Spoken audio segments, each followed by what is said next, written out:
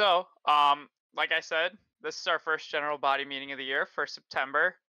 Um, and first, I want to go ahead and just uh, talk about our executive board for the year. Uh, so we'll go one by one. Um, I know we're missing one picture on here, and so I apologize to Nathan for that. Um, but I'll go ahead and start just from left to right. Uh, my name is Braden Ost. For those of you who I don't know already, uh, I am currently a fourth year chemical engineering student, and I've been a member of the club for four years now. Um, or this is my fourth year.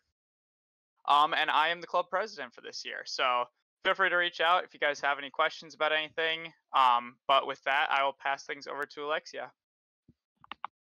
All right. Hi, everyone. I am Alexia Scarvelli. I am the vice president of the Buckeye Gaming Collective.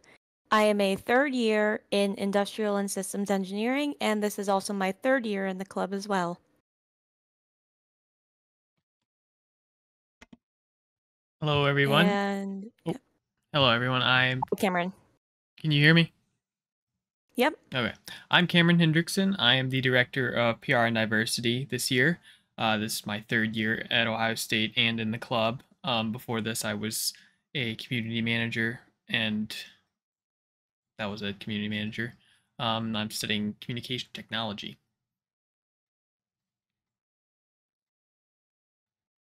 All right. Hello, my name's Will Kaiser, or Moocub, OSU Moocub, whatever you want to call me.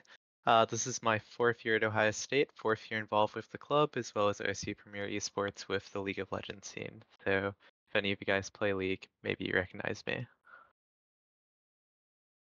Hey guys, uh, my name is Mark Yassin. Uh, I'm the treasurer for the club, and this is my third year of involvement. I'm a senior in chemical engineering this year, and um, if you have any questions regarding anything money, feel free to reach out to me on Discord. Hey guys, I'm Anthony Petros. Uh, I am a senior uh, computer science engineering major. Uh, this is my fourth year being involved in the club, and I played for the league team for the past three years. So, if you have any questions about that, shoot them my way.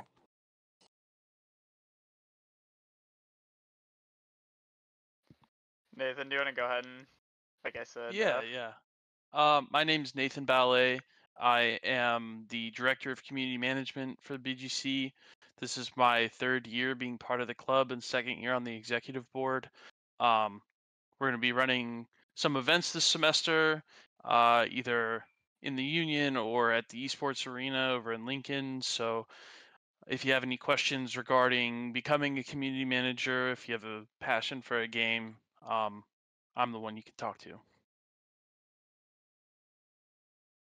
Awesome. So uh, our next topic is um, basically just going to be a few different slides on uh, things that you guys can get involved with. Um, so outside of just uh, playing games and you know whether that be through events or uh, competitive teams or intramural leagues, um, we have a lot of different ways that you can get involved as members um, and have some really cool leadership opportunities that are great for resume or to get to know people or um, you know everything in between really and uh, a great way to get involved early on, even for you know freshmen or sophomores. I know I started my freshman year um, running the League of Legends community. So, um, with that being said, our current uh, voting member status is basically anyone um, who attends at least half of these general body meetings. So typically that'll be um, one a month, sometimes with uh, you know holidays like Christmas break, spring break, things like that. Um you know we might miss one or two in there but generally aim for seven or eight of those throughout the year. And then we also uh, want people to be some sort of an active member in the uh, club as well so that could be minor board being on one of our teams um, obviously being on the e-board um, or just being a committee member which we'll get into more of the differences between some of those positions um, and then the last one is a fun uh, being a part of a fundraising event for the club this hopefully will something uh, be something that uh, is actually used this year. Uh, in the past, this requirement has been waived for people, um, and so depending on what kind of fundraising we are able to do this year, um, that may or may not stay as a requirement. But basically, if we have opportunities, try and take advantage of them. If you can't make it or anything like that, don't sweat it. If you, um, you know, if you cover the other two requirements. Um, so the main takeaway here, like this says, is just to basically have a have a say in what the club does and where the club is headed um, and be able to play an easy, active role um, in helping us reach our goals. So next up, as promised, is our staff positions and some of the differences between these three groups. So for our minor board members, uh, these are people who um, are going to be on the Discord and working on uh, club things throughout the day um, or on a daily basis. Now that is a lenient definition of a daily basis. Some days it might be, you know, running an event for a full day, but other times, you know, you might not have anything to do for a week or two at a time. Um, I wouldn't stress too much about the the time commitment there. Um, we really just want to basically be able to uh, work together with anyone on our minor board to let you guys um, be involved as involved as you want to be, but not overworking anyone um, for something that they're volunteering to do and you know doing in their free time. So um, basically, minor board positions are going to be running or helping uh, with things like our intramural leagues, uh, things like broadcasting, graphics, um, really everything in between. Um, anything that you might have a passion for, any specific areas, there's probably a spot for it. So, um, as part of our attendance uh, form, you'll see a spot to to put down some stuff about minor board. Feel free to reach out to any of us and put in there um, with anything you might be interested in our discord moderators um this is something that we have gotten away from a little bit um we don't uh we don't have a lot of moderators active at any given time um honestly it's um something that you know we we'd love to have but most of the time i think uh, anyone who wants to do something like that typically minor board positions end up fitting better because we just don't necessarily need dedicated people constantly watching um, our chats so um, if it is something you're interested in, we're we're always happy to have anyone that's uh, wanting to do that.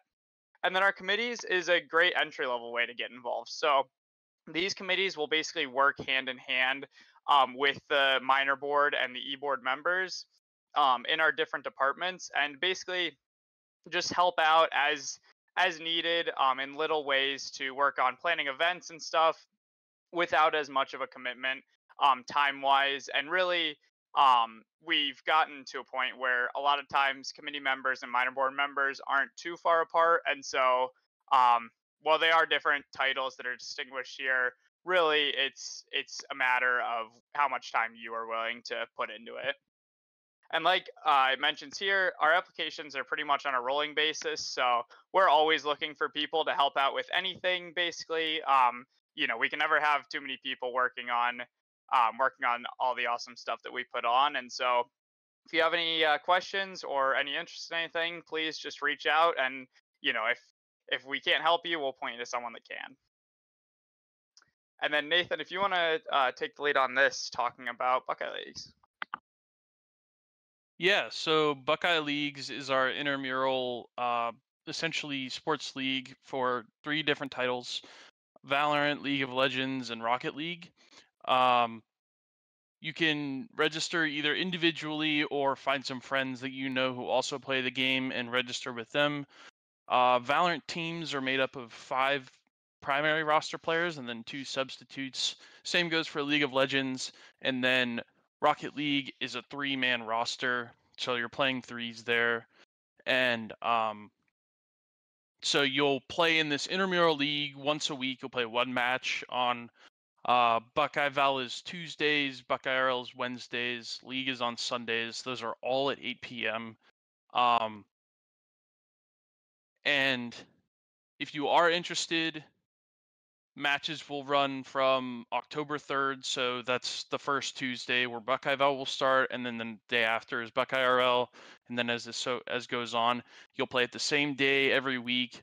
Um, and like I said, you can register individually. We'll get some information about you, how you play the game, what rank you are, what you want to get out of playing Buckeye Leagues, and then we'll put you on a team of other like minded individuals um, who want to play whatever esport that is and kind of compete. So there's two phases to our Buckeye League intramurals. There's the regular season, which is a round robin. Well, not round robin. It's Swiss style bracket and then uh, you'll play five weeks of that, and then there'll be three weeks of uh, like playoffs. So you'll go from the semifinals uh, sorry, quarterfinals, semifinals, and then finals.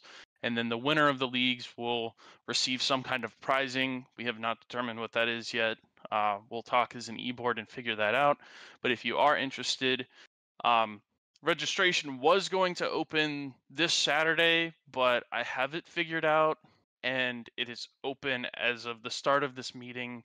So we are ready to go with that. I'll post the link shortly in the chat.